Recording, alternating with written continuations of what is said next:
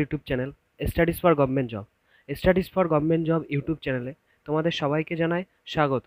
তো আজকে আমরা এই ভিডিওতে আলোচনা করতে চলেছি তোমাদের ডব্লিউপি কনস্টেবল দু হাজার বাইশ সালের মেইন এক্সামের এক্সপেক্টেড কাট অফ নিয়ে।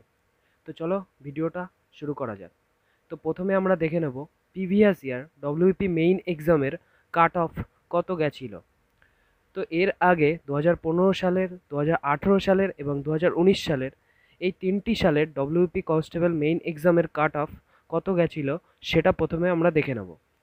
তো তোমাদের ডব্লিউপি কনস্টেবল দু হাজার পনেরো সালে যে কাট অফটি ছিল সেটি হলো ইউআর ক্যাটাগরির জন্য fifty four point thirty three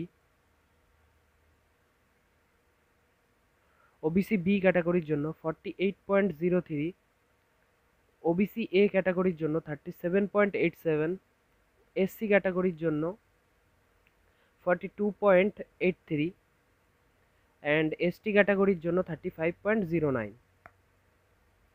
তো এরপরে চলো দেখে নেব দু হাজার আঠেরো সালে ডব্লিউপি কনস্টেবল মেইন এক্সামের কাট অফ কত ছিল? তো দু হাজার আঠেরো সালে ইউআর ক্যাটাগরির জন্য ছিল forty seven point seven five OBC B ক্যাটাগরির জন্য ছিল forty six point one seven OBC A ক্যাটাগরির জন্য ছিল forty one point zero zero SC ক্যাটাগরির জন্য ছিল forty two point eight three এবং এসটি ক্যাটাগরির জন্য ছিল থার্টি এইট তো এরপরে তোমাদের দু হাজার উনিশ সালের ডব্লিউপি কনস্টেবল মেইন এক্সামের কাট অফ ছিল UR category fifty six OBC B fifty three point sixty seven OBC A forty four point nine two SC category forty nine point one seven এবং ST category forty one point zero eight তো বন্ধুরা, তোমরা দেখতে পাচ্ছ যে প্রতি বছর কাট অফের গ্রাফ কিন্তু ঊর্ধ্বমুখী। এর কারণ হচ্ছে বহু ভালো ভালো ছেলে এখন কিন্তু ডব্লিউপি কনস্টেবলের এক্সাম দিচ্ছে। তো যার কারণে তোমাদের কাট অফও কিন্তু প্রতি বছর বাড়ছে।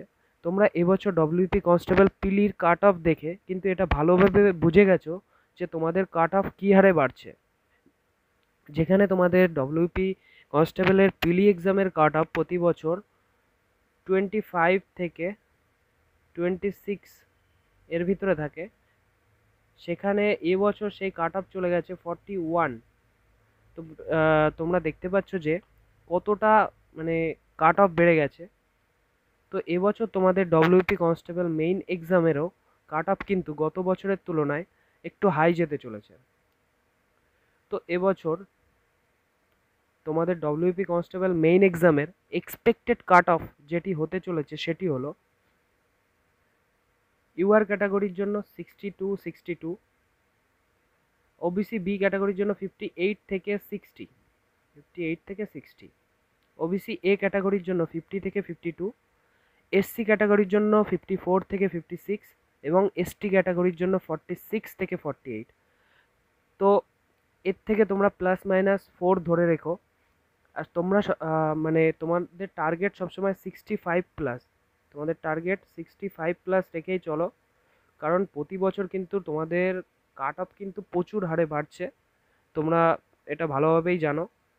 সেই অনুযায়ী তোমাদের কিন্তু মানে যে টার্গেটটা টার্গেটটা সবসময় হাই রাখা উচিত। তো তোমার এটা কিন্তু একান্তই আমার ব্যক্তিগত। আজকের ভিডিওটি এই পর্যন্তই। তোমাদের যদি ভিডিওটি ভালো লেগে থাকে, তো ভিডিওটিকে লাইক করো শেয়ার করো ও কমেন্ট করো। thank you.